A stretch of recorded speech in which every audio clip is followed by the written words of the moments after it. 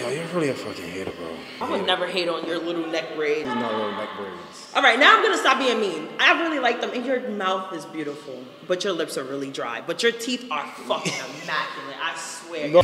Shiny teeth and me. What toothpaste do you use? That look how yellow my teeth are. You're beautiful teeth. Fuck you. Your mouth, I'll take your mouth any day. Not to put it on nothing, of course, maybe.